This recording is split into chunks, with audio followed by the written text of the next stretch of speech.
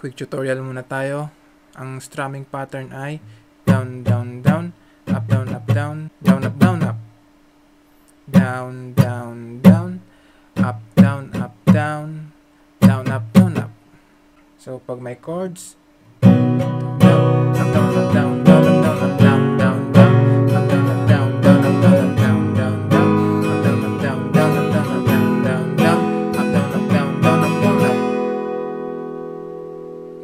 Yun lang. Paikot-ikot lang siya.